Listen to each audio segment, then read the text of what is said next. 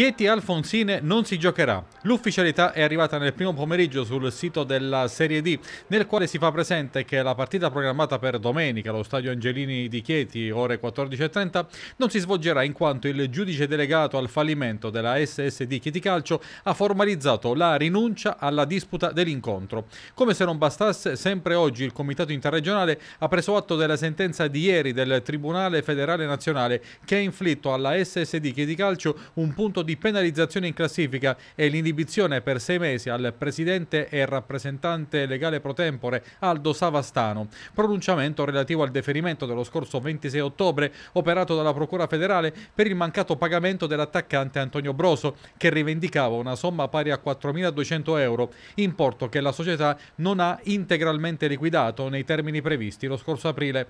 Per quel che può contare, il Chieti scende a quota 0 punti in classifica, che diventerà meno 1 la prossima settimana per la sconfitta a tavolino con penalizzazione che sarà irrogata per la mancata disputa della partita. Non essendo stata ritirata la squadra, i risultati del girone d'andata saranno preservati. Il campionato poi riprenderà l'8 gennaio e nel frattempo la curatela fallimentare, che fa capo alla commercialista Maria Nicla Corvacchiola e il giudice delegato, verificheranno se esistono i presupposti per cui il Chieti possa continuare a giocare oppure no, andando incontro in quest'ultimo caso alla esclusione dal campionato con radiazione dalla federazione federazione.